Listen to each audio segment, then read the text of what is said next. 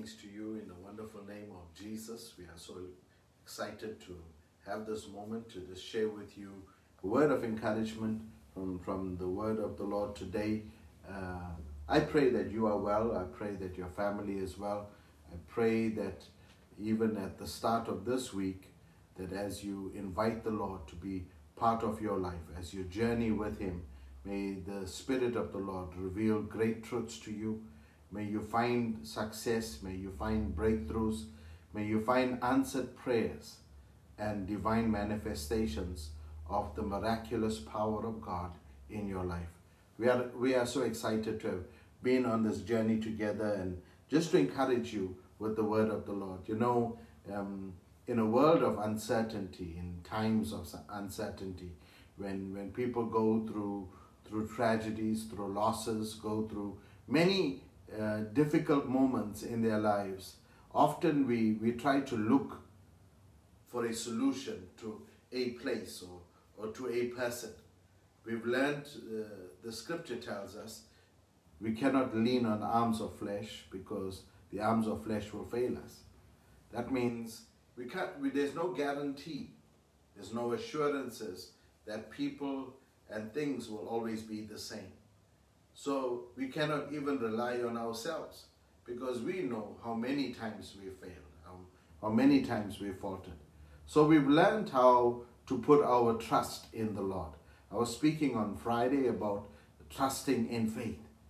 You know, faith is, and, and I believe that faith is also built on us standing on the promises of God. There was an old song that used to be sang in churches. It talks about standing, standing, standing on the promises of Christ my Savior. There is no better foundation there is no better foundation than Jesus Christ Himself. He is the rock of our salvation. He is our strength. He is our refuge. He is our strong tower. He is the place where we can run into. That David says it like this we can run into Him and be saved. Amen. And so today I want to speak a little bit about the promises of God, being built up in the promises of God. I, I, believe this is a very, very important part, is that the promises of God do not change. Because the promises of God carries and is the word of the Lord to us. And the Bible says, heaven and earth will pass away, but my word will remain. Amen. That means God said his word will remain. That which he has spoken, that which he has released, that which he has commanded, that which he has, uh, has shared with us, that word will stand forever. Now, as we look through scripture, there's over 7,000 promises in scripture. Promises that we can hold on to. Promises that we can, when, when, when times are difficult and you're going through challenges in your life, you can, you can, you can go through, through those promises and appropriate it for yourself. Now, one of the things about promises in the word of the Lord is that it was not only for the people the promise was made to. That means I can apply a promise, and we're going to look at the book of Joshua, chapter 1 today.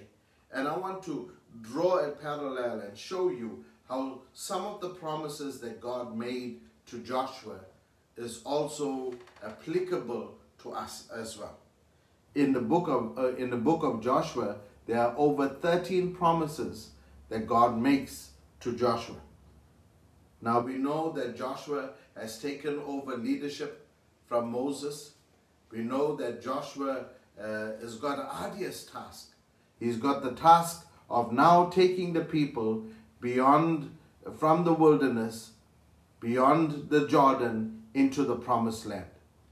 But he's dealing with a people that have become discontented, a people that have come to the place where they've questioned, they've doubted. There's also, every time there's a transition in leadership, people always find confusion. You know, Paul, Paul said this. He said, Paul says this, he says, when, when I leave, there will be ravenous wolves that will come amongst you. He was talking about, he's saying, there are people that will come in trying to divide. The, the, the spirit of the wolf was never to, to keep in harmonize or harmonize things. It was always to sow seeds of destruction. So he's saying there are those that will arise up. And he says they're not only external people that will come in, he says it will be internal people whose hearts will be turned toward each other and they will cause divisions. Paul wrote this and he said, This is the challenge. Joshua is in the place where he's taking over leadership. And I don't think that it was easy for him. There may have been others that may have thought that they would have been a better choice. But we know that Joshua was God's choice. And this is the important part. For any of you that are going through transitions and even experiencing transitions in churches, this understand, follow God's choice. That's important. But I want to stay with, with our topic today, build your life on the promises of God. In 2 Corinthians chapter 1, verses 20, the pro- we hear that the promises of God are A and Amen. The scripture says, For no matter how many promises God has made, they are yes in Christ, and so through him, Amen, is spoken to us by the glory of God. So he's saying the promises that God made are yes in Christ. So that so Christ is the guarantee of the promises of God being fulfilled. And then he says, therefore, to that we can say amen. And amen basically means every time you utter amen, you say, so let it be. And now, so so when, when, we look at the promises, and we know they are yes and amen in Christ. And so as, as we look at this, we see in Joshua chapter 1, verses 3, at the beginning of Joshua's journey, Joshua is standing on the wilderness side of the Jordan, and God makes certain promises to him in verses 3. And God says, And I will give you every place your foot you set your foot as I promised Moses. So he's saying to him, I will give you. That's a promise to, to Joshua. So Joshua was, was, was, was stepping in faith, but his faith was built on the fact that God said, said it, I'm going to give you every place your foot will tread. So he's, he's understanding that he's, he's, he's not just journeying alone. He's understanding that this is not something that he has to fulfill alone, but God says, Every place your foot shall tread, I will give to you. I want you to understand when God gives you an assignment, he always also ensures his support of the assignment. You find that God, God gave Joshua a promise even at the start. For any, any man, woman of God, any person with a vision from the Lord, along with the vision, God will give you a promise of what He is going to do in keeping it. In jo- at the end of Joshua's life, he reflects on God's keeping his promises. In Joshua chapter 23, verse 14, he says, Now I'm, I'm going to go away from all the earth. So he's at the end of his life. And he says, You know with all your heart and soul that not one of all the good promises the Lord gave us has failed. Every promise has been fulfilled, not one has failed. Imagine, what a, what a powerful thing. I want to assure you today, as you're listening, whatever the promise God has made to you, it will never fail. Every promise God made, He kept. And if you want to understand God's dream, God's plan for your life, you must build your life on the promises of God. That's why I ask you the question today what is God's promise to you? To Joshua, he makes a few promises in Joshua chapter 1. The first promise he makes in Joshua chapter 1, verse 5, God says to, to, to him, He says, as As I was with Moses, I'll be with you. But he says in verse 5, he says, No one will be able to stand against you all the days of your life. I will never leave you nor forsake you. So God's first promise to Joshua is that he, he promises him strength for life. He says to him, The task that I gave you, no one will be able to stand against you. The second thing he gives him is the promise of success. He says, If you would obey the word that I give you, you will be successful. Verse 6 and 7. He talks about being strong, be courageous, because you're going to lead the people into the land that I swore to them. And he goes on in verse 7 and he says, Again, be strong, be courageous, be careful to obey the law of the servant Moses gave to you, and do not turn from the left or to the right. God was saying to him, The assignment that I'm giving to you, not only am I giving you strength, I'm giving you success. And God said to him, Do not stray to the left or to the right. He knew that people will try to influence him. Often in your journey, there will be people that will try to influence you away, but you stand on the promises that comes from the word of God. There's no better guarantee. The promise of God to you is a guarantee. And then the third point was God promises success, support. In verses 9, he says, I will be with you. I will be with you. God's work, when we do God's work His way, we can be guaranteed of God's support.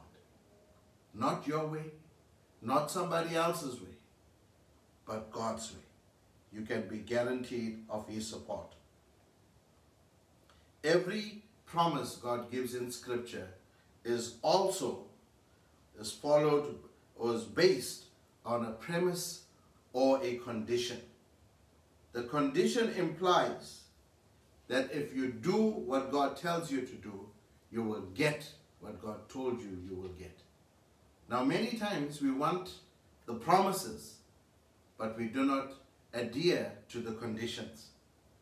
And when we look closely, God's condition for success for Joshua wasn't based on his intelligence, wasn't based on his skill, was not, was not based on any human ability that he had or how accomplished he was or how, how handsome he was or how beautiful you can be. No, no, no. He, he, he, God's condition for success for him was based on his ability to obey his word.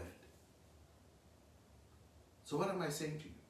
The secret for, for appropriating the promises for your life is based on your the condition of you obeying the word of the Lord. Now this is very important. Remember to memorize the word, study the word, internalize the word, obey the word. The word must become practical in your life. Now, in, in verses 8, and I'm ending here, God gives an instruction. There's a few things that Joshua had to do. Firstly, he says you have to remember my word. Right? Remember my word. Then he says you must obey the word. Obey all that is written in it. This is very important. And as you focus on remembering and obeying the word of the Lord, you will start to get all that God has for you. There's, there's, there's five things. If I break verse 8 up, it says, Remember what is written, study the word day and night, obey the word, and when you do this, the condition, when you meet these conditions, this is the blessing, and you will be wise and successful in everything. I pray this for, for you. I pray that for good success. I pray that the favor of the Lord will be upon your life. But there's a condition. It's attached to remembering the word, studying the word, obeying the word. When you do that, you'll be wise and successful in everything. I want you to understand the promises of God are yes and amen. I do not know what you're facing. I do not know what you are going through. But I can assure you, I lead you to the rock that is higher than I, to Jesus Christ. And I can tell you his promises. See, people can promise you. I can even promise you things. Some things I would never be able to keep up to.